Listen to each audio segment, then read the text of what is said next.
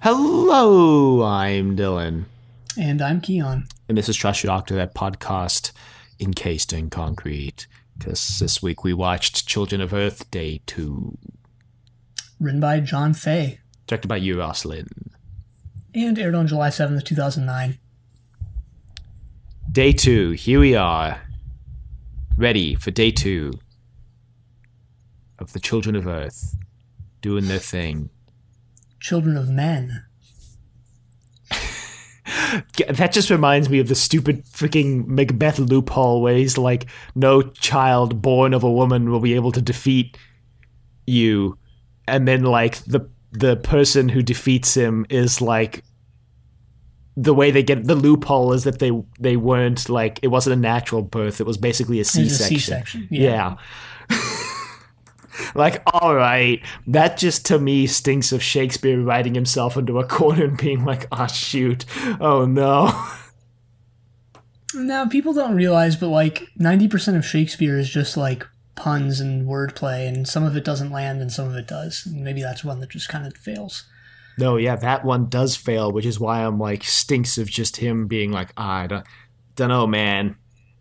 No, I, don't, I don't think it fails. I kind of like it and and then J. I mean, even J.R.R. Tolkien reused it in Lord of the Rings, so that's how you know it's amazing. No, I don't know. Hmm. Out of all the things he could have taken, he took that, and the and the moving trees, which is also from Macbeth. Wow! Now I just realized that he just took like two things from Macbeth and just put them into his own story wholesale. Okay, then. no, but but but Tolkien, like with okay, two things. One, Tolkien is the thing you're using as like the benchmark of great fantasy. All right, uh, okay. Two, um, Tolkien like puts a twist on the moving trees thing because he does what Macbeth thinks the trees are going to do in Macbeth, which is that the trees themselves are going to move, but it just turns out that like in Macbeth, if I remember correctly, it's just a bunch of soldiers like moving with the tree, like Yeah. moving the, the, the Yeah, trees. they're I yeah they were like, I forget they were like holding they cut down branches and they were holding the I don't know yeah, they like disguise themselves as trees or something. And, but Yeah. like in Tolkien, it's like it's actually the trees that are moving. So you know, he like subverts the trope by like oh actually Oh doing what they thought the trees were gonna do. Yeah, I read one, we got a review on our podcast recently that was like Dylan and Keon go on the best tangents, and I was like, okay, uh, I don't know what to do with this information. And I was just thinking of that because we immediately, like five seconds into this episode, went on a Macbeth tangent.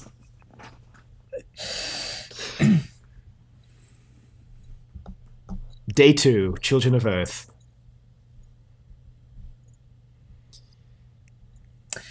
not as um not as I mean definitely more action packed than day one, but not as interesting I would say as day one. I would say that's that's. I wouldn't say that's a fault of the episode. I think that's just because episode one was clearly setting everything up, and episode three is going to be the day that the four, five, six arrive. So episode two needed to basically only serve as a bridge between day one and day three, and to get Jack back into the action off of the back of day one. And that's all it really needed to do. And it did both of those things great in my opinion. Not as you know, it's not as exciting as day one in my mind, but I still thought it was a really good episode. Yeah, I did too. So I guess that just gives us leeway to jump right in with Gwen emerging from the rubble and uh, being dragged, like being taken into an ambulance. And for a hot second, I thought these were actual medics because she just starts assaulting these hospital workers and beating them up. And for a second, I thought these were like actual medical workers, and she was just beating them up, you know, like beating the first responders to to pulp because she doesn't want to like go to the hospital or something.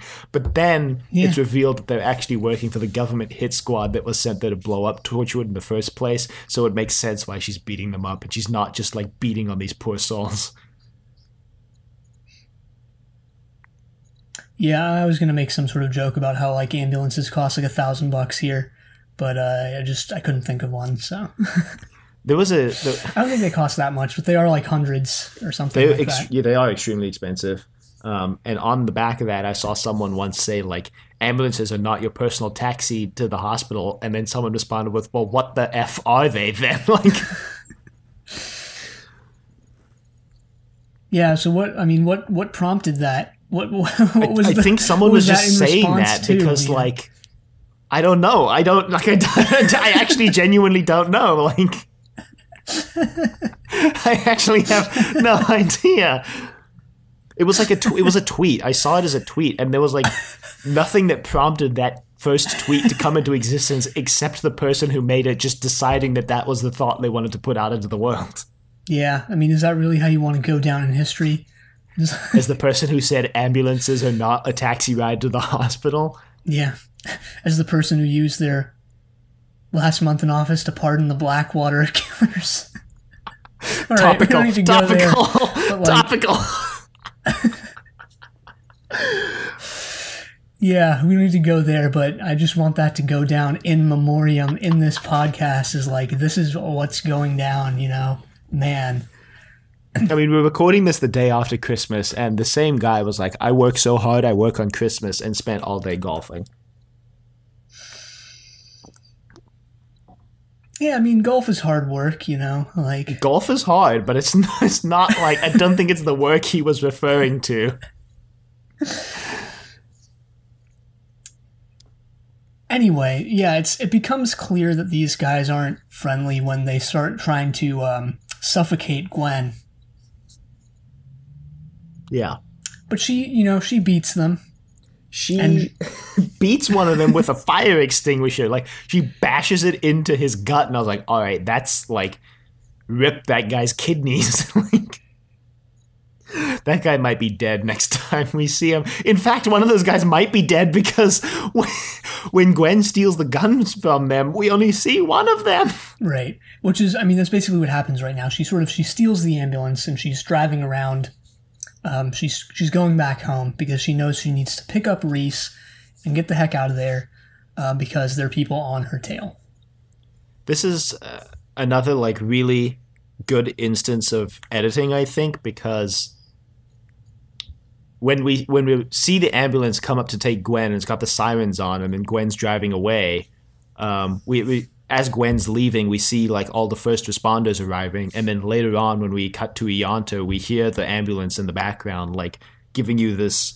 Um, what's the what's the phrase I'm looking for? Like in the moment, like it, it helps you place where Ianto is like in relation to this event without showing you anything, just because the sirens are going in the background.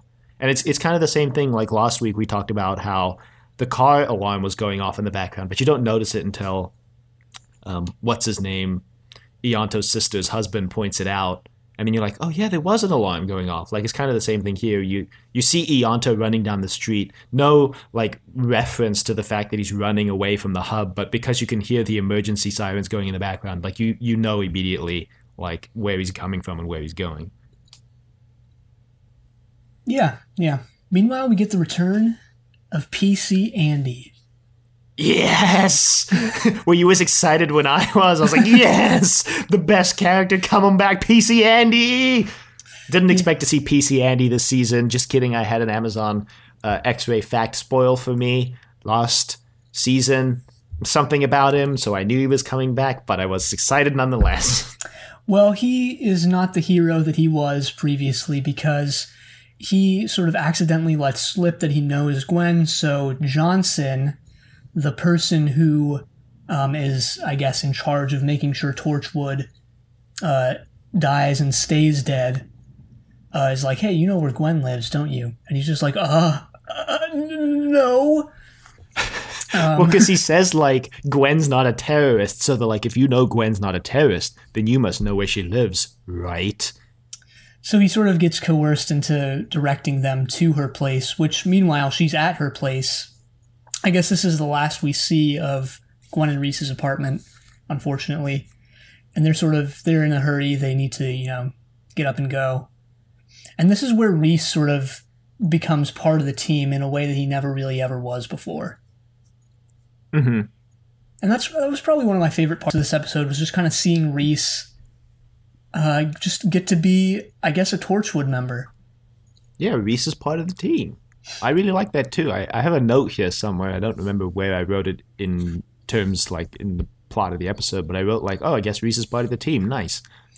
Yeah, Rhys is not my favorite character. Never has been. Probably never will be. But yeah, I mean, I don't know. There's just something nice about like, you know, everyone who, on in this season who should on Torchwood Torchwood's side is like against them, and they have they they have to resort to, I guess, dragging like family into this, and their family, whether it's Rhys or Ianto's sister, whatever, they're just like they're just reliable. So, uh, yeah, just I don't know, makes you feel all warm and fuzzy inside just knowing that, you know.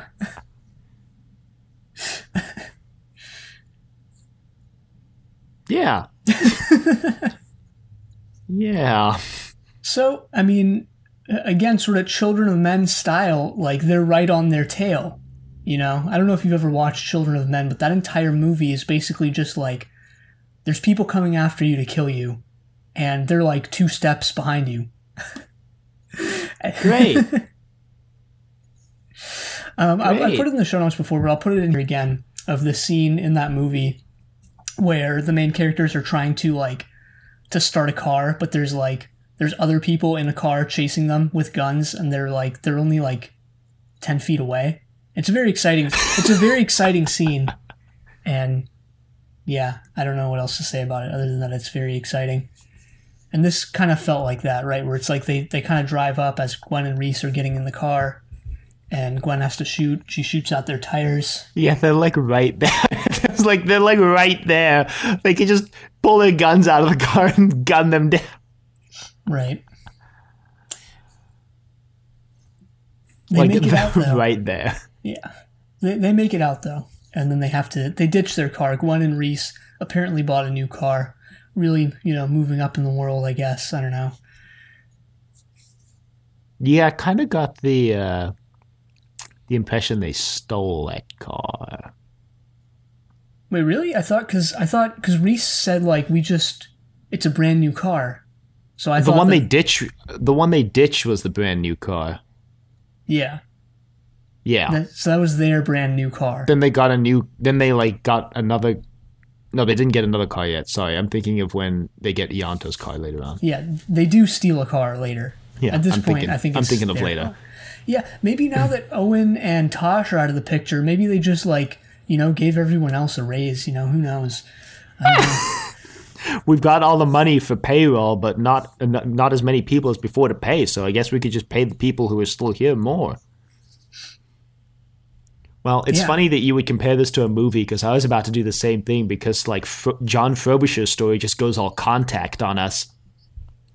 And uh, turns out the 456 have sent them like alien schematics to build a device of unknown purpose, which is like a whole plot of the first 40, 40 to 60% of contact. Or the, not the, the middle 40 to 60% of contact is just like we have these uh, plans from aliens that we're just going to build and see what they we don't know what they do so we'll just build them. And then like that's the the the behind the scenes plot of this episode with John Frobisher is like we got these plans. I guess we'll just build them on the top floor of MI5 and see what happens. Yeah, the, the guy he's talking to um, is like, so why go through the trouble of like sending those messages through the children? And then he, and Frobisher's like, uh, he he says something along the lines of like to uh, to frighten us, of course. Just like, Yeah. wow, jerk aliens. I'm sure there's a reason I'm sure there's a reason Frobisher also talks to the prime minister again. He thanks him for putting him on the front lines. To to which the prime minister responds like, "Yeah, first line to fall." Yeah I was like oh he's not wrong but also oh Yeah, I mean, we're getting a lot more of John Frobisher's character here, right? Like, I didn't get this from the first episode alone. Maybe it was just me, but like, he's very clearly like this out of his element guy who's sort of this obsequious, you know, there's a word middleman, um, who's just way in over his head. And, you know, he's thanking this guy who only gave him the job to like, so that he, because he's expendable. Yeah, I mean the preview for next week also kind of says that because the preview is like um John Frobisher is a good man but expendable. Yeah, no, no, wasn't it like he's the only thing better than a good man is is uh, it was something. I don't know. It was something darker than that, wasn't it? Or was no, it I think that? it was literally just. John Frobisher is a good man but expendable. Yeah. Anyway, now we get the first of two just just man bum this episode because the secret government agents break into Ianto's sister's house, uh, and her husband is just bum naked on the bed, face down. And they're like, "Where's Ianto?" And he says, "Well, you're not going to find him in my bed. I'm a married man." He becomes like the hero that we never thought he would be. That's you know, true. He really does, episode. actually. He really does. His name is is uh we really should know his name because he, he truly is like the unsung hero. Is it Johnny Davies? Is that? Yeah, it is. Wow. Yep, I just took a him. random guest off this. Johnny. Wow. Nice, Johnny. Yeah, everything about this character is like so. Not, e- I don't even want to use the word coded, but I don't even know what other word to use because it's it's not it's not coded at all. But everything about this character is like designed to to to be like a man child, right? Like Yes. from his clothes to his haircut to his speech, Yes. you know. And then like later on when they're distracting the car, it's him and a bunch of kids. Well, that that's like the double. Um, that they have to be kids because like part of the the uh, the way that he gets to the like he gets to them emotionally in the car is like, oh yeah, you're a bunch of pedos, aren't you? Look Right. look at all these kids, bunch of pedos on the street. hmm You know, i- i- in saying pedos just that way that only British people can really nail it. You know.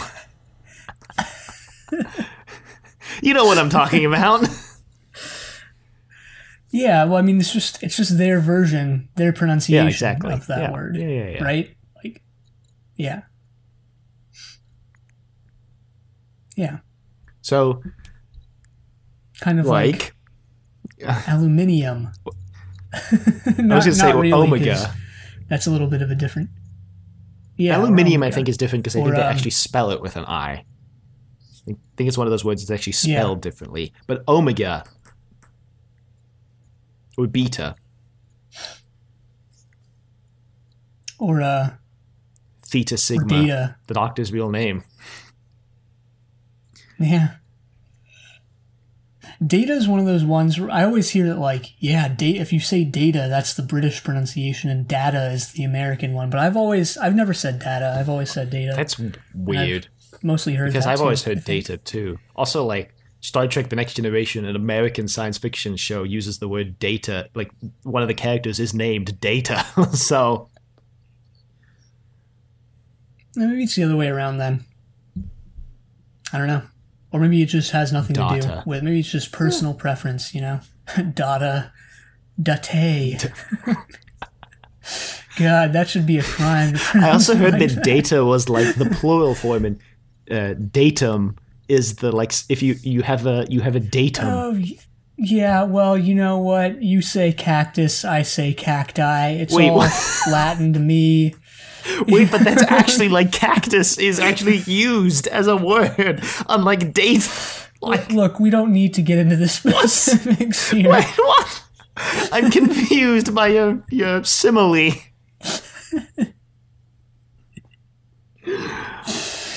Look, all that's important here is that Johnson, this government agent, has recovered Jack and they've put his bits and pieces into a body bag.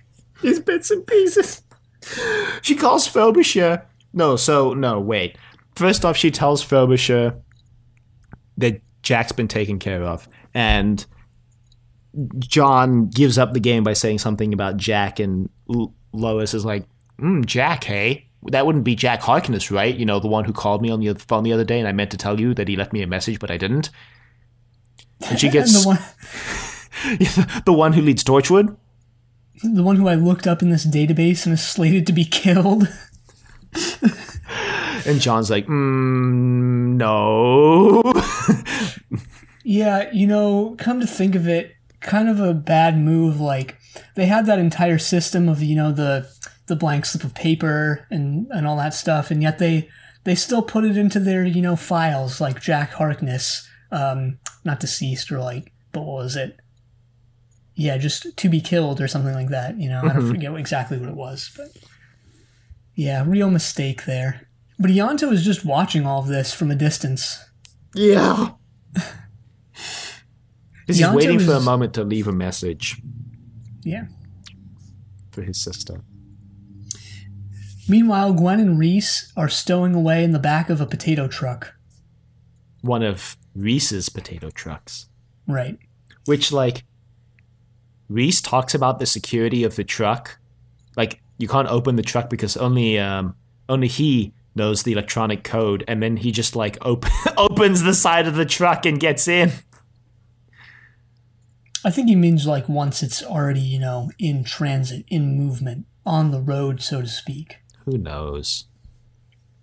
And, I mean, it doesn't really matter because they have this. It's this like pseudo tense scene where like the guy who's driving the truck is about to find them, but it's, it's like he's obviously not going to.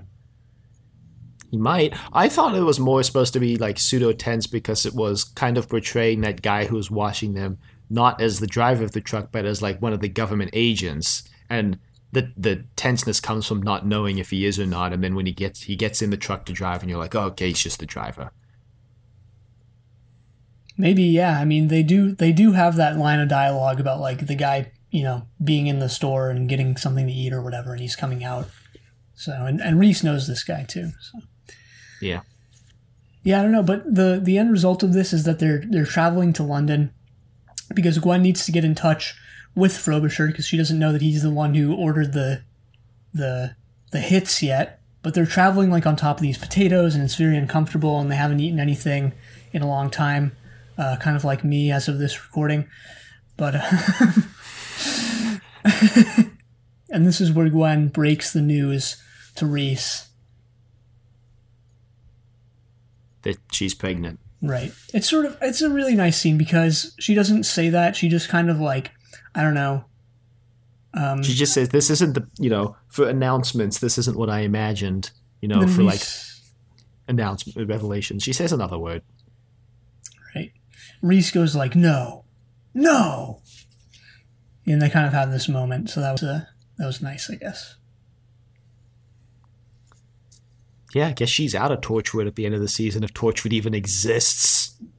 Yeah, that was the thing too. Is you know later on she tells Lois like when all this is done and things are back to normal, you come to me for a job, and I was like, I think I think things are done in like another way. Like I think things are finished. yeah, t- Torchwood One was destroyed um, back in Army of Ghosts and Doomsday. Torchwood Two is just. I think in this episode they actually mentioned that they believe Torchwood Two has been disbanded. Torchwood Four was lost to the time vortex. I think they said like in season one, and Torchwood Three just got blown up last week, uh, yesterday for Gwen. Yeah. I mean, really channels that, like, you know, March, April mentality of, like, yeah, a couple months when all this stuff is done with. Yet here we are in December. I think people know what I'm talking about. I think people know. Great. An- another thing to to date us. Also, this episode's going out in January. Yeah. we'll have almost looped back around, you know, so to speak. God. Spe- speaking of looping back around, uh, they discovered a more like infectious strain in the UK about two weeks ago. You know, just saying. nice. Like it's it's it's it after like one month accounted for something like twenty six percent of all COVID cases in the UK. I think I was reading in like a couple weeks. And I think as of two days ago, that strain made it over to France. Well, you know, the UK has really been my rock throughout throughout this entire thing because it's just it's great to know that there's uh, s- a country or an administration out there handling this almost as ineptly as ours at home.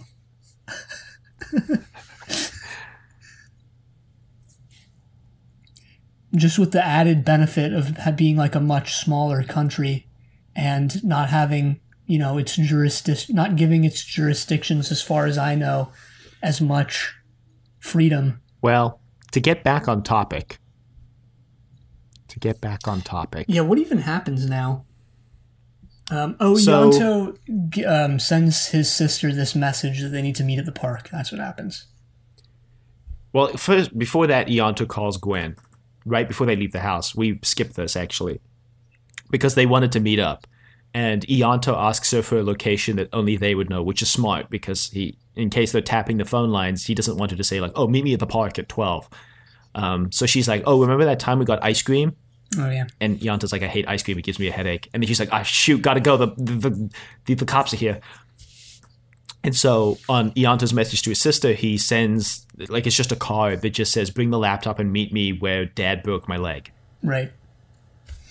This is where you kind of you, we're getting little bits and pieces too of Ianto's past throughout all of this, and it's kind of I mean it's it's baked in in a way I think that doesn't like call too much attention to it, or I don't know, it doesn't like doesn't take you out of I guess just the like point A to point B plot of like what's going on here. And even if it did, like, I don't think it would be the most egregious thing in the world to go into a little discussion of Ianto's past. But the way it's done here in the episode is that it's just these little snippets, right? Like, we get that Ianto at least in Ianto's mind, his dad broke his leg, either on purpose or thanks to negligence. Um, whereas his sister was like, no, it wasn't his fault, type thing. Yeah. Mm-hmm.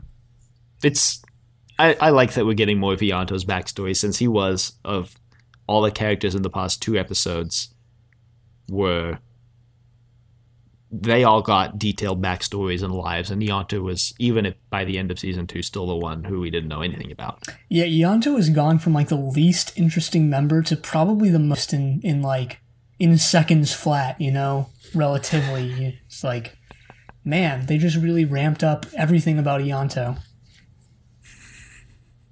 Ianto has a sister, a family. He's got fam- familial strife. Like he, he, re- you're right. He really did go from zero to hundred real quick. Yeah, and we even get a bit about like his relationship too with his family, even though he's not there, because when um God, what is his sister's name? Uh I'm looking I don't oh, it's actually Rhian- even know. Rhiannon? Rhiannon? Whatever. It's like Rihanna, but it's but it's non. Yeah, it's like It's that, that. um that song by uh yeah, Fleetwood Mac. I had to Google to make sure it was Fleetwood Mac. Rhiannon. It's a whole song about someone named Rhiannon. Yeah, Rhiannon is apparently the Gaulish horse goddess, or is related to sorry, is related to the Gaulish horse goddess. Oh man, so that so means Rhiannon is strongly associated with horses. so that means Ianto is related to uh is related to the gods. You know, if his Kind sister of. if his sister is, then that means he no, I'm just kidding. Hmm. Hmm. Um, but she shows the letter to um, her husband, and she's just like, "Man, why is he dragging us into his mess?" And and surprisingly, uh, Johnny goes, "Well, we're the only ones he has." True. Also, now I'm like re- opened the Rhiannon Wikipedia page, and apparently she was a, a major figure in the medieval Welsh story collection. Wow. There's like a really detailed page about the character. Okay, that's there's a whole section interpretation as a goddess. Sorry, I got lost in the Rhiannon Wikipedia page for a second there. So Johnny goes out to basically because he knows that there are people watching, listening, and he takes the neighborhood kids to go pester them. Basically, Right. While while Rhiannon slips away, mm-hmm. and she meets Ianto at the park with the laptop. Um, as as she as the letter indicated. Yeah, It turns out Ianto is just going to, I guess, track the license plate whose number he took down at the wreckage of the hub. Because apparently, you know, have the right set of programs and you can just track any license plate. I mean, the government has tracking software, right? Like, that's not out of the ordinary, right? Yeah, yeah. He just didn't make it clear that he was using government like tech, you know. I guess he does have access Yep. to that stuff because he's part of Torchwood. But I just thought he was going to do some like dark web, you know, like investigation. Be kind of concerned if the dark web can track my license plate. I'm sure there's That would be the point where I'd be like, no more, no more dark web for me, There's- for us. there's people dark web's done. there's people out there who like if you have ever had like an online presence in like even the slightest capacity, like if they wanted to find you, they could. No, yeah, nothing online is like you can take everything online is permanent. I don't know why I started that sentence saying I was going to word it like nothing online is impermanent, but everything online is permanent. If you've ever put anything online, you exist online. Uh, no. no. Except for Zenith, apparently. Any, anyway, the the thing starts happening again. The kids start saying that they're going to be there tomorrow, and yeah, that's, I guess that's that's how they learn that they're coming tomorrow, coming back tomorrow rather. Mm-hmm. Mm-hmm. And Ianto runs up to one of the kids in the playground and starts trying to ask her some questions. And her mom comes over and says, like, "Get away, perv!" Yeah, weird, weird sort of uh, I don't know obsession with pedophilia that this episode has. I don't know. When does Jack get encased in the concrete? Is that now? It's about nowish uh, because they uh, they they they are watching as Jack's body is reconstituting itself in the body bag, and um, what's her name? Johnson? Johnson is concerned because she thought he was dead, but she calls John and she's like, "So he's come back to life, and if he can survive that, what can't he survive?" And Frobisher's just like, "Oh God." So Johnson is basically like, "Well, I can't kill you, but I can keep you here," and encases him in concrete. Right. Ianto, meanwhile, is is spying on all of this, and as all this is happening, or I think slightly before it, actually, now that I uh, scroll through my notes, is that Rhys and Gwen have arrived in London. and They use a phone booth to contact Frobisher. Yeah, because apparently John Frobisher was their contact in the government. That's why Jack tried to call him yesterday for them. Right. But Frobisher's busy, so Lois picks up the phone, and knowing what she knows, she decides to meet Gwen and Rhys and basically save their lives. Mm-hmm. So she they meet in this sort of cafe or something, and she kind of tells them what's going on, how Frobisher was in charge of, you know, making sure Torchwood dies. And this is when Gwen does that thing we said before, where she's like, you know, when all this is done, come to me, you know, you'll have a job with Torchwood. Because Lois, of course, is is worried about the fact that she's committing treason, um, but also Right. worried about the fact that her job is asking her to cover up and assist in deaths on like her first day. Uh, yeah, I mean, she's also concerned about the fact that like her boss had someone just straight murdered. Yeah, So that's concerning. So she basically lays out to Gwen where they're keeping Jack because she brought the schematics with her right. just in case, Mhm. I guess. yeah. So they they pretend to be um, what was it Undertakers? I think it is. Yeah, because Repesha's body is being picked up Right. from that from the same facility. Yep. So that's how they get in. And there's sort of this like weirdly humorous sequence um, with them, you know, breaking in and and uh, yeah, I don't know. I just thought it was weirdly like a funny sort of bit. Yeah, it was a fun little thing. Yeah, Rhys almost gives him away multiple times. Most notably when he like when the guard is hitting on Gwen and he's like, "Hey, she's married. Back off, bud." Yeah, and then you think the it's also one of those scenes where like you think the guard is like he's onto them and he's like, wait a minute, you two are anything you think he's gonna be like you two are from Torchwood, but he's like, no, you two are like seeing each other, aren't you? Yeah, it's a really tense but humorous moment where they're like, "Oh God, did he figure us out?" But no. Uh, this this guard, I believe this guard is played by, I think it's this guard. Um, and it, one of these people is played by um, OC Okafor. Uh huh. I think I butch- I think I butchered his last name.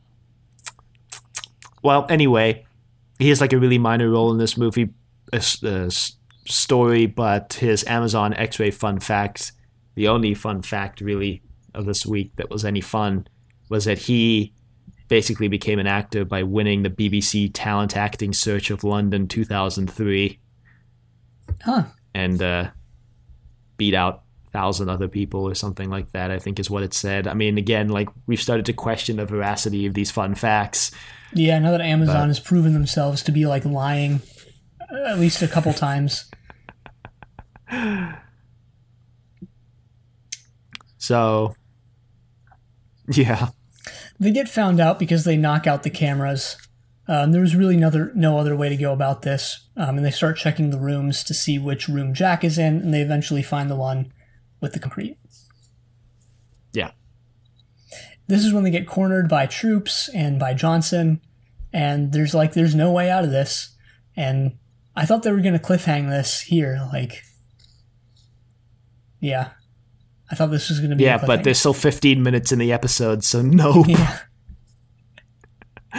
well, this is one of those things where it would be like, it would be like one of those classic Doctor Who cliffhangers, except actually exciting because, like, yeah, I think Torchwood would, you know, do something like that and then have it be like this half assed resolution, right? Where it's like someone just goes, wait, right before they get shot.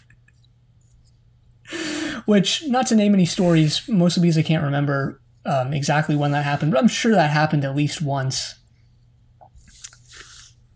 in the classic show. But no, right, there's still, you know, a lot more in the episode to go. So we get most like, whoa, like the most surprising. I don't know why I went for like that when there's actually a word for it, which is a surprising scene here. the most whoa Yeah. scene. Well, maybe there is something. There's an element of like, yeah, surprise is like not enough to convey just how surprising it is, right? Where Ianto, he's has this like, what is it's it's not a forklift. It's a um, it's not a crane. It is a crane. It's like a combination of both. it's a fork crane. Yeah, and he just he just takes the concrete and goes. Yeah, he's he's on the run. The the TARDIS wiki refers to it as a forklift and notably doesn't have a page for forklift. It's a red link, which shockingly means they want there to be a page on forklift, just no one's written it yet. Yeah, that's not a big shock that they want that page since they want like I don't know everything. Like yeah, I mean I know we've talked about this before like the TARDIS wiki is just so like the way it ropes in real real like okay, look, let me just you know what? Screw it. Film. This is the most surreal page on the TARDIS wiki where it's like here, film and the section is history. The emergence of film as a leisure activity occurred at some point between 1918 and 1939. Yeah, sounds sounds about right. Sounds normal. Like yeah, people really started watching movies and heavily enjoying them in that 20 year span. Yeah, and then here's their source for that: prose, a history of humankind. Thank goodness we have these Doctor Who novels, or else where would we? How would we know history? You know, like.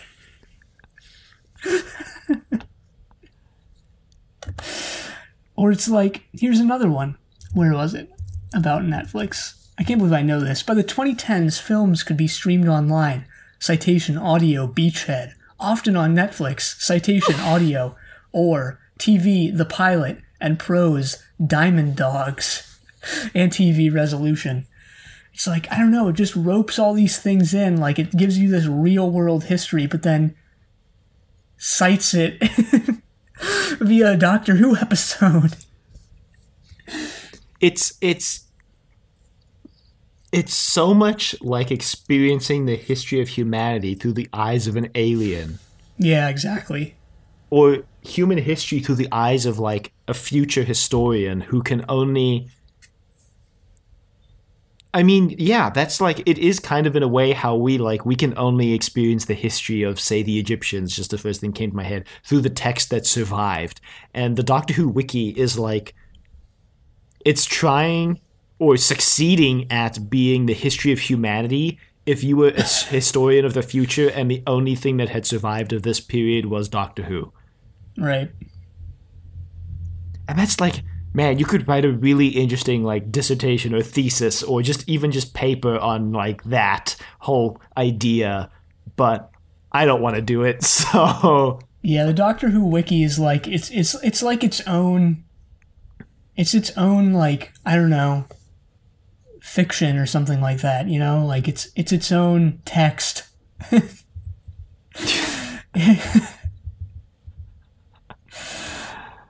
it's like in in trying to I don't know be the be the wiki for this show, it's become like something more. It's like taken on this life of its own or something. it's become humanity. It's become life. Now we are become the TARDIS data core. the ultimate goal of humanity is to evolve into the TARDIS data core. I wonder if there's another wiki that has more pages than the Doctor Who wiki, because the Doctor Who wiki, as of right now, has 88,503 pages. Holy. Holy. Yep. My goodness. Yep. I don't think there would be another one out there that does, to be perfectly honest. No, that has to be one of the most detailed wikis ever written. I'm I'm sure it's more detailed. It's probably more detailed at least than than um than most of the Wikipedia languages. You know, Yeah. you just check real quick. I mean, we're on this thread. Why why the hell not?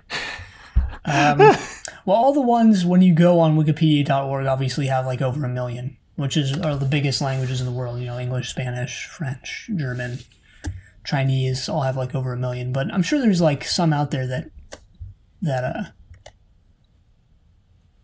Yeah, well, you can just oh yeah, you can just open this thing. bust open the read Wikipedia in your own language. I mean, Yeah. like Oh yeah, it has anything more. below the anything below the hundred thousand articles is like Yeah. it has less got more than the detailed- Afrikaans wiki. less detailed than the Doctor Who wiki. Damn. Yeah, the Afrikaans wiki is less detailed than the Doctor Who wiki. Damn. Probably. Because I guess the 10,000 plus could include up to 100,000 plus. Yeah, it's like it's in that. It's it's within that like those those two sections. Like it falls somewhere in there. You know. Wow, there's a Scots wiki. Oh yeah, we've talked about the Scots wiki on the, on the podcast before. the Scotch wiki if if anyone listening to this wants like um wants a rabbit hole to go down just go down the rabbit hole of the Scotch wiki which was written by this like written primarily by this like American teenager who doesn't speak or understand Scots and all the articles on that wiki are just like English written in like this kid's version of a Scottish accent. And it's said now when people realize that however many months ago it was sometime during this year people linguists were like yeah this has done irreparable damage to the scots language. Like this is the language will never recover from this. Because wikipedia is such an all-encompassing you know source and because of the status of the scots languages like not being too heavily spoken Awesome. that's my understanding of the situation at least nice. Great. The Afrikaans the- wiki, by the way, has 95,000 articles, so it's not bigger than the Afrikaans wiki. Sorry. But anyway, continue on the Scots wiki tangent. Because it is bigger than the Scots wiki, which has 42,593 articles. Yeah, that's that's pretty much all there is to say. Apparently, the some people got in contact with the kid who who wrote most of the articles, telling him what he did and how he shouldn't have done that, and he was just like his response was apparently like interesting. I'll consider that next time. and he's an admin and moderator on the wiki, so there's nothing anyone can do about it. I mean, I'm sure Wow, okay. There's like there's actually a thing at the top that says following recent revelations, Scots Wikipedia is currently reviewing its articles for large scale language inaccuracies. Yeah, wow. And it has a link it has a link to a recent revelations page that is oh holy crap, this is a long page. oh my god. Yeah, I'm I'm I'm I'm on oh my god. wow. This is a huge page of discussion about the language inaccuracies on the Scots Wiki. Oh, goodness. Yeah, it's really how this kid is going to go down in history. As being And also, like, you saying this, like, makes me realize, like, the top line says, like, welcome to Wikipedia in the Scots language. And it's like, you can recognize the letters, but it's, like, recognizably another language. But then now that you've said that it's just this guy writing, like, in a Scottish accent, if you read the feature, featured article, it, it, it it, it really is just like English in a Scottish accent. Yeah. Oh man, yeah. Yeah. I didn't even do too deep, deep of a dive into this, but oh man, this guy didn't even Wow. this is like I'm a fan of Proposal Zero, nuke and start over.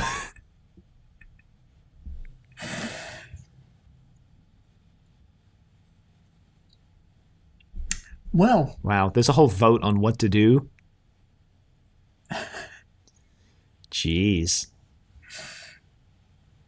There's a proposal that's like literally just just revert every edit that that guy made. There's a proposal to just delete all of his articles. Jeez. I think Wow, this is this is a real thing. Not related to Torchwood whatsoever, but hey. Anyway, let's get back to the uh, the episode at hand because we're like almost at the end actually.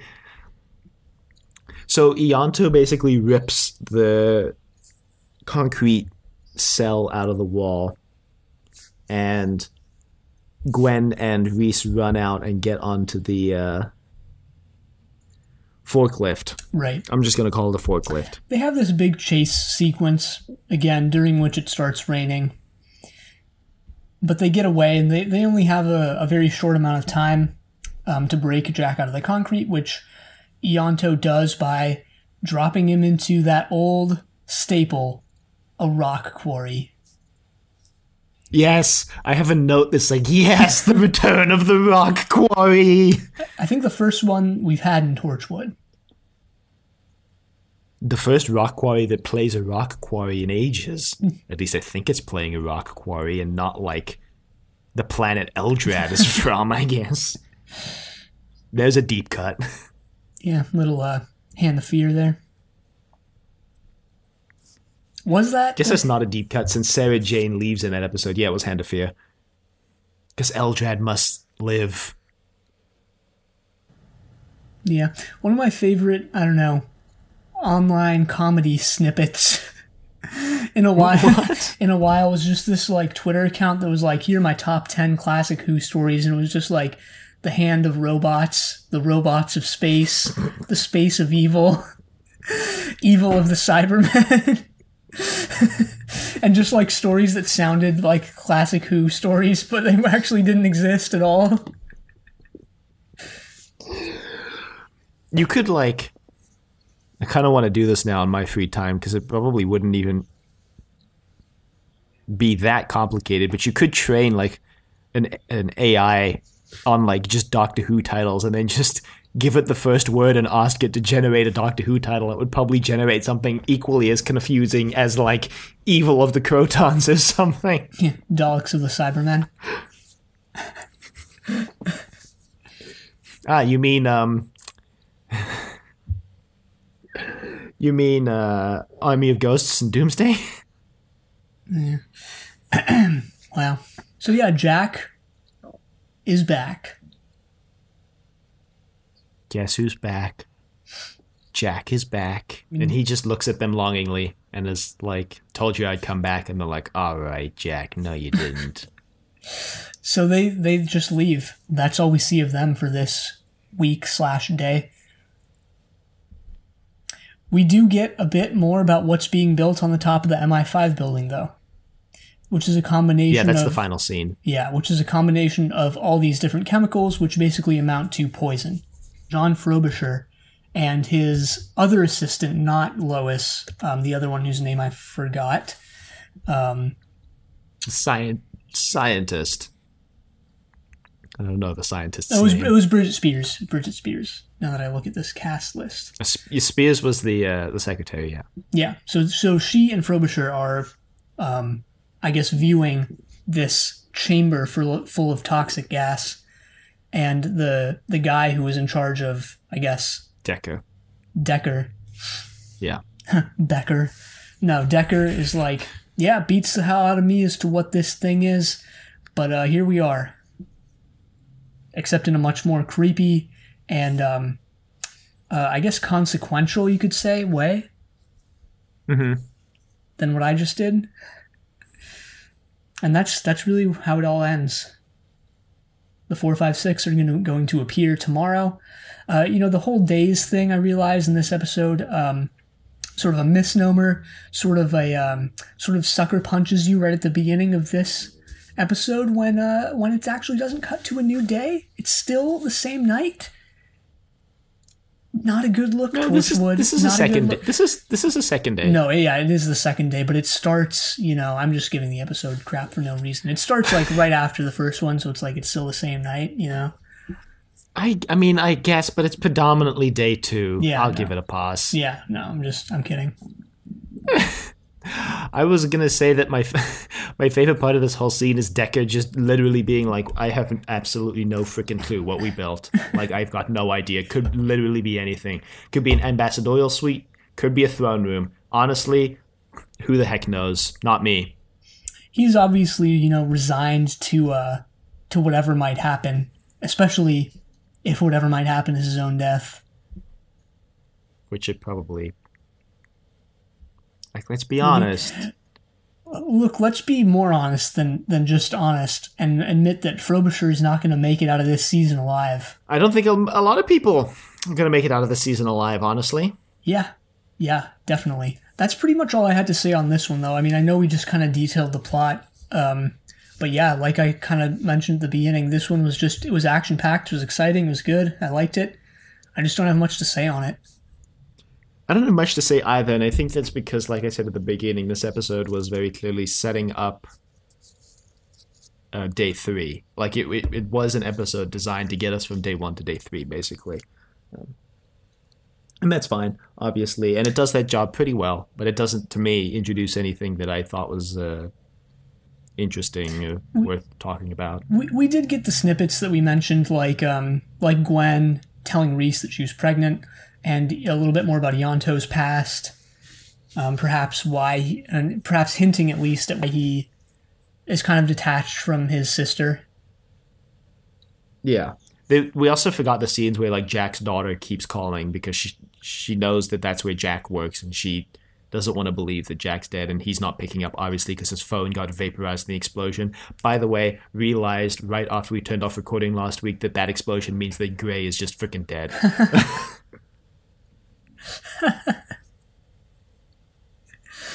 We also skip the scenes with Frobisher and his family, which again just kind of establish who he is. Um, in in addition to the scenes where he's talking to the prime minister and the scenes where he's in his office and he's just totally it's it's so clear that he's just totally out of his element. the um, the story does something really nice or really well, I should say, which is um, it it really subtly kind of shows how Torchwood is better than like this government office, and it does that by having the scientists in the government office not even realize until day two that all the kids all over the world are speaking English and how that's weird. Because we saw in the previous episode uh, that pretty much immediately uh, Gwen, I think it was Gwen, recognizes that it's weird that every kid everywhere in the world speaks English. And it wasn't until day two when Dekker is like, you know, every kid everywhere is speaking English. Just kind of like subtly reinforcing this point that uh, that that Lois says that Jack made that that they're able to help and they're basically the only people who can help with this. Yeah, now that you mention it, that's actually something that this ep- this episode and to a lesser extent part one is also I think touching on that maybe we'll see more of is like Torchwood survives the situation because they're a close knit team of only at this point three, um, and they survive. Like Ianto, they give each other these coded messages. They give like Ianto tells his sister, like you know exactly what we mentioned before. Meet me where Dad broke my leg, and like only the uh, he and his sister are the only ones who know where that is. Um, contrast that to like the coded message that the the government um, agency gets, and they don't know what the heck it means. They're dealing with codes that they don't even understand, and that's almost like emblematic of like they like Frobisher's office um, fails because of how bureaucratic they are, you know. And um, maybe that has something to do. Maybe that has something to do with like the prime minister. He's like he's using Frobisher because he's this, he's expendable. He's just a cog in the machine. He's just another rung on the ladder. Nobody cares who he is. Um, so maybe this story is like commenting on, you know, not a radical thing to think or comment on, obviously, but how that like how that type of bureaucracy like dehumanizes and devalues people, and how it's ultimately bad. I guess is the ultimate outcome because yeah, again, the agency is like failing, and they're they're at this point in the story losing to this team of three, four, I guess, with Rhys. Yeah, I mean, I think kind of related to that, which I was thinking while you were talking, is like how this season is kind of different than the other two because unlike the other two, Torchwood's not in control this this mm-hmm. season. Like it is, it is a survival kind of thing, like you were saying, um, not just from the government but also from the aliens. And what I'm kind of enjoying about this season is the is the way that they're showing us how the Torchwood team survives when they're not in control, how they how they work when the, everything is out of their hands, basically. And one of the themes I think this season is is actually delving into, because also, like you said, how Frobisher is just being basically a front man for the prime minister, is how basically everyone in this situation is is, and you know how people in general try to take control over their own lives, or like to believe that they have control over things that happen in their life, whether it be uh, you know who their friends are, or what job they get, and so on and so forth. And this season seems to be kind of tackling this kind of theme where nobody really has control because these aliens are coming down. Like Frobisher tries to seem in control, but even he's not even in control because the prime minister's just using him as a pawn. But even he's not in control because the aliens are like communicating with everyone on Earth via the children, and Torchwood is definitely not in control because they've just been blown up. Mm-hmm. And so, and we're seeing that a lot too with like Ianto. Yeah, I mean, we're seeing that with like Ianto because he's, you know, he doesn't have control over anymore, like who knows about him and Jack because people are like recognizing them as a couple when they go out and about. And like maybe that's part of the reason why he was being a little uncomfortable with it last episode is because like that's a loss of control that that he experienced because he no longer has the ability to tell people or choose who to tell um, that him and Jack are a thing. And like when his when his sister reveals like she already knows, like he's uncomfortable with that because he didn't get to, to tell her himself. Um, Gwen being pregnant, like again, that's she didn't have control really over getting pregnant right now. Presumably, her and, and Rhys have been trying for a baby for a while, but like it happening is something out of her control. So on and so forth. Jack being blown Right. up, like everything this season seems to be all of them are like losing control and how that's affecting them as a team and how that affects just people in general. And I like that. I like that. Yeah, maybe that has some like you know the whole story's called Children of Earth, and obviously that's referring to to the children who were abducted at the beginning and like how the aliens are using the children. But it even goes back to like that that classic sci-fi. Eh, check out Inevitable classic sci-fi podcast. But no, it even goes back to that classic sci-fi thing of like of like humanity being portrayed as like children in relationship to like alien invaders or just aliens who are like they're you know they're wiser, they know more, stuff like that. Mm-hmm.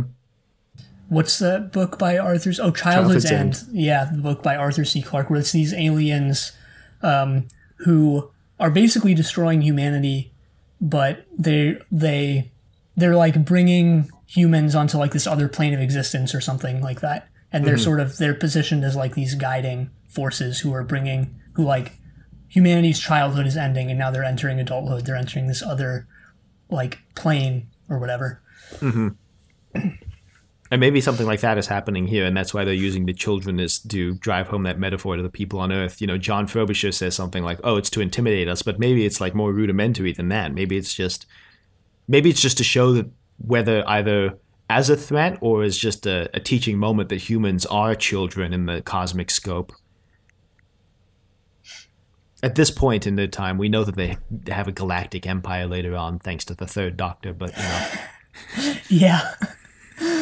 yeah. It's also this thing of like, this is actually completely unrelated to everything we were just talking about, but I also realized that it's this thing of like, the aliens are showing that they can control the children and why that's like so scary. Maybe I'm the only one who actually need to put this in a list to understand it, but like, the reason it's so scary is because they like they can totally just usurp like humanity's entire future, right? Like if you can control all the children in the world, then like, then you have a, con- a complete control over the entire next generation. Yeah, I mean, there's also the element to me that like children have an inherent sense of innocence in fiction because they are, well, children and don't have a lot of world experience. We talked about, we will talk about this, I guess, from the perspective of, of our listeners on our Beverly Hills Chihuahua episode. Oh Christ! God, I can't believe I said that. But like, how children don't really have a lot of sense of right or wrong yet. Um, and so for the aliens to go after like essentially the most innocent human beings is in a way quite interesting as well because it's kind of like we can control everyone like even these people who did nothing wrong uh, fall victim to us Yeah. Hey, I mean, look, I just randomly mentioned the whole Blackwater thing because it's in the news. Um, but hey, that's related to it. Like, I mean, I mean, well, I'm for in, in for real. Like, in a sense, it is like you know, basically. I, I- I'm not shocked. I don't think anyone's really surprised. But like, basically, you know, the the current U.S. presidential administration just like said like, yeah, it's okay to to kill kids. Like, mm-hmm. so, man, really, really the Doctor Who villain that like that shouldn't exist in real life. God, great great uh, well i'm i'm very interested to see how our theories hold up next week when um, the aliens allegedly finally show up or tomorrow from the perspective of the characters but next week for us man, what if they're just like, yeah, you know, sorry, we'll uh, we're just kidding. We'll be there on uh, on Thursday. Just kidding. just kidding. It was just a prank, bro. just a prank. so, yeah, that's everything I wanted to talk about. Um, ignore Ianto. Becoming increasingly more difficult, but still done. Yeah. Yeah. Um, how did the government screw over Torchwood this week? Probably by encasing their leader in concrete. That invading Ianto's uh, sister's house, invading Gwen's house. Yeah, they did a lot this week too. Yeah. But they also, you know, Lois is a is a government worker, so they also saved them, technically. Kind of. Kind of. Yeah, kind of. yeah. I'll give him a kind of on that one. Uh, I don't think we did how much should Jack be affected by this last week, which is hilarious because that's the week he should have been most affected because he was blown to freaking smithereens. This is another week But this where he week- should be definitely affected. Yet he just he just brushes it all off at the end, literally. Yeah, I mean he he he does look kind of perturbed to have been encased in concrete for it was it was a couple hours, um, but still, uh, kind of like he looked affected, but I don't know if we'll see that in his character moving forward or not, Not. Or if it'll be kind of a thing that's like we you know we don't have the time to deal with this on Yeah, screen that because this is a five day this is a five day event and we're moving goddamn quick. yeah, that it, it'll be that. 100%.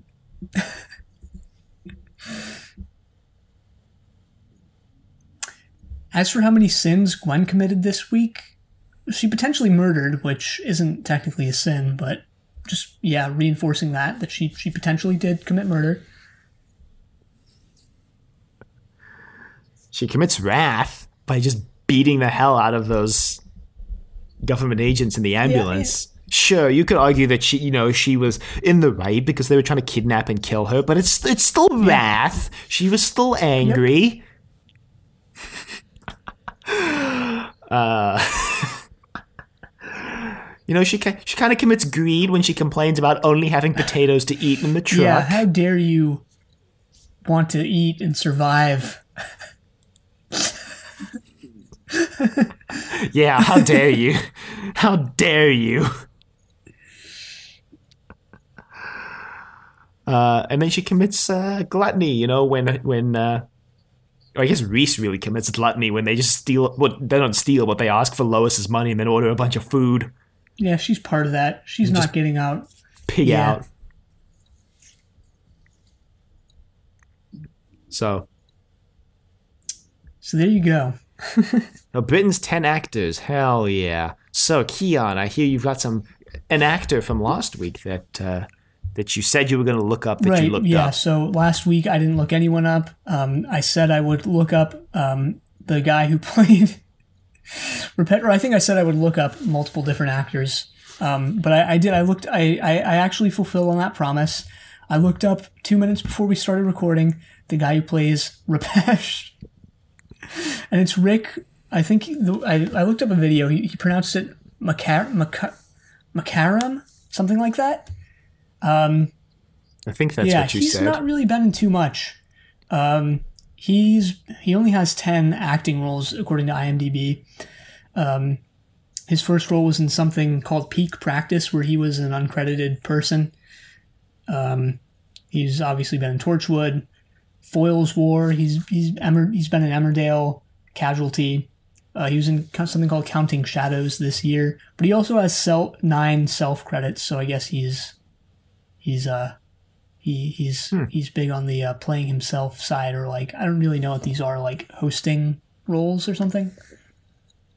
He's on. He uh, he was on this morning, yeah, as a as a guest playing playing himself. I don't know what this morning is. I'm guessing it's just some sort of talk show. Don't look don't look at me for for answers there. Because I don't have them. Yeah, it's comedy. IMDb lists it as like comedy news talk show, magazine show featuring lifestyle, cookery, fashion, and news segments, along with celebrity interviews and gossip.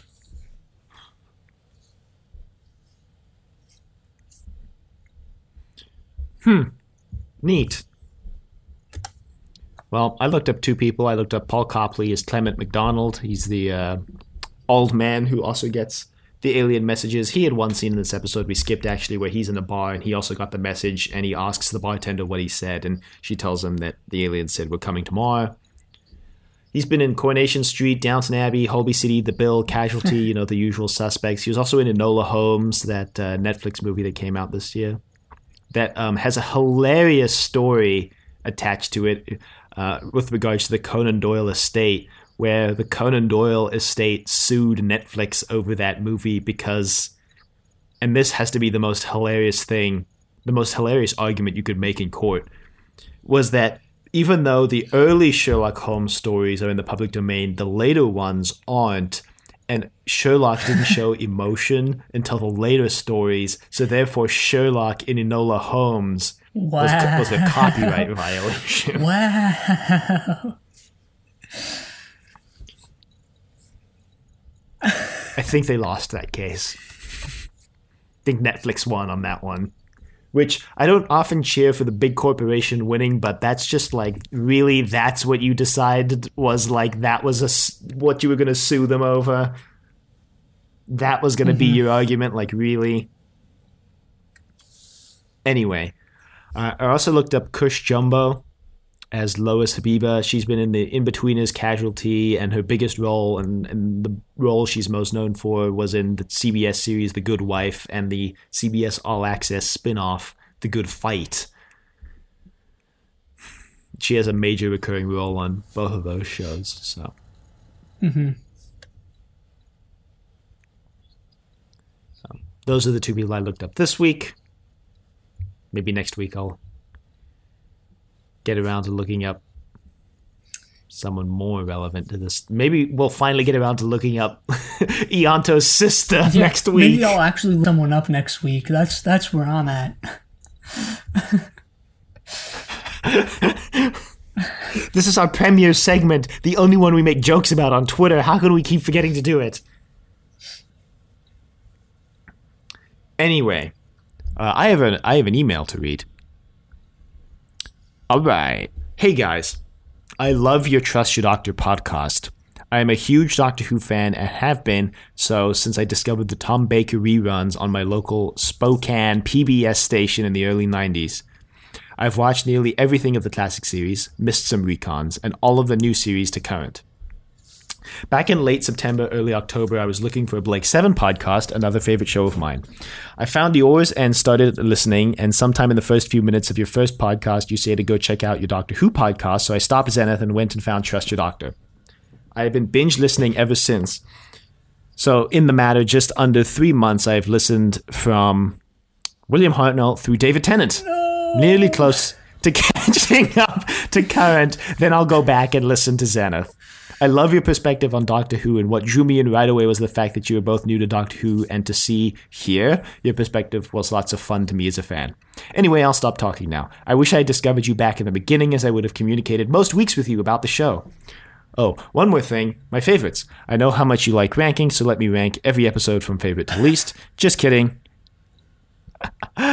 favorite Doctor, old and new.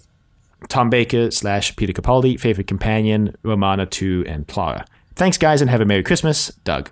P.S. Regarding the Christmas story you read years ago called something like The Hopes and Fears of All the Years, you didn't know where the title came from. It's from a Christmas hymn called O Little Town of Bethlehem. Hey, thanks, Thanks for Doug. reaching out, Doug. That was a really nice email. It makes my heart full to hear that people like our show. Yeah, and I'm I'm definitely glad. You know, I'm just patting myself on the back here, and I'm glad that people are still discovering Zenith. You know, years after it's it's finished, or after we've finished it. Yeah, I mean, I, I was just kind of waiting though with bated breath as you read that. Like, please don't say you started from the beginning. Please don't say you started from the beginning. but yeah, it's cool, I guess. Well, I'm glad he stuck with us. You know, all, through the through the downs and the ups, he's sticking through us, and uh, hopefully he listens to this email and us responding to the email, this episode, and hears us responding to the email. And um, yeah, we'd love to hear from you more, Doug. Well, I mean, I know I like hearing. I say this every time someone sends an email to us. I love hearing uh, people's perspectives on the episodes, uh, getting emails from people. You know, we've got a new ep- when this goes out, we'll have had a new episode of Doctor Who go out Revolution of the Daleks, which we will be doing weekend of. And, you know, would be nice to hear uh, people's thoughts on that, especially because it's a new episode and it's the first time we'll be doing an episode live. So uh, we haven't done that yet, obviously, when we're recording this. This is recorded on the 26th of December. I think I mentioned earlier the day after Christmas. Yeah, so we still have about a week to go before watching that episode, but but by the time you listen to this, you'll probably have already watched it. But thank you, Doug, for reaching out, and hopefully you enjoy Zenith. Thanks for your kind words about Trust Your Doctor. That was very, very kind of you. So that was a very, very heartwarming email to receive over the holiday season. You know, really brightened my day when I saw it arrive in the inbox and I read it. And I hope you have a good holiday season, all of you at home. In, and incidentally, a happy holiday season to all of you at home. Wink. Speaking of which, we have a blog post about that done by the um, the wonderful Stephen Schinder. You know, it's not our newest one as of this um, uh, this going out, but uh, you know, on Christmas Day we put out a uh, a, uh blo- uh, blog post about which I'll put in the show notes about the many times the first Doctor celebrated Christmas because it's more than just Feast of Stephen and um, what was the episode? Twice Upon a Time. Anyway, that's all the communication that I have to read out this week. Yeah, we didn't get any uh, comments on Facebook or or um, Twitter or anything like that. We did, but not for not for Ah, this. Not for curses. Curses. Foiled again. Foiled again. Well, If you would like to reach us, you can reach us at the doctor.decorativevegetable.com. Questions, comments, concerns, angry events, love letters, your thoughts on Torchwood or Doctor Who, which is aired now. Revolution of the Daleks. You can find us on YouTube at Decorative Vegetable. You find us on Apple Podcasts and anywhere your podcasts are found at Trust Your Doctor. Be sure to leave a rating if you like the show. Out on Facebook, Trust Your Doctor. Like us on Facebook. Check us on Twitter, TYD Podcast, and follow us on Twitter. Next time we're going to be continuing on with day three, but until then, the end.